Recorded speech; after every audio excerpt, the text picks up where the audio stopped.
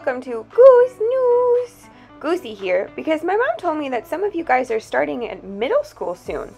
See, I was just like you a couple months ago. I wasn't going to a new school, but coming to a new house to live. I know what it's like to go somewhere new, so I have some advice for you as you start your new adventure. Tip number one take some time to adjust and explore. When I first got to my new house, I was so scared I wouldn't leave my carrier no matter how many treats my mom gave me. When I started to explore, I got scared again, so I hid under the couch for a little while. And then I started to come out a little bit more and realized that it wasn't so bad. But then I got scared again, so I hid under the bed again. Basically, I had a lot of feelings. But then I started sniffing around everywhere and found some pretty cool places, like my cat tree and my box. And now my mom says I act like I own the place, which is kind of true. I do. But it did take me about a week and a lot of sniffing around before I was comfortable here.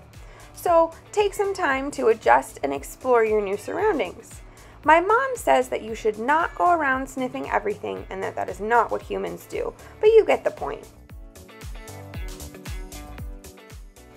Tip number two is probably most important. Don't be afraid to ask for help. If you need anything, how to find something, to talk to, anything at all, there's a lot of people around who can help you. So don't be afraid to ask for help if you need it. My mom gives me just about anything I need, except unlimited treats. I'm down to about 10 a day. Um, I let my mom know I need something by just staring at her like this. Um, and usually then I bite her, but she says I need to work on asking nicely and using my words or my meows. So maybe don't do it like me, but definitely still do it. Tip number three try new things. Did you know that the people who used to take care of me told my mom that I wouldn't eat treats and I wouldn't play with toys? I wasn't super interested in them at first, but then my mom kept buying new things for me, and boy, was I wrong. Here I am playing with my favorite toy, well, one of my favorite toys. I have a lot of favorite toys. My laser pointer and my box from Aunt Miss McCrindle. Treats are delicious. Toys are so fun. I don't love every single treat and toy I get, but I give everything a try because my mom says you never know until you try. I may not have liked treats before, but now I will drop anything I'm doing and do whatever it takes to get them. I love them that much.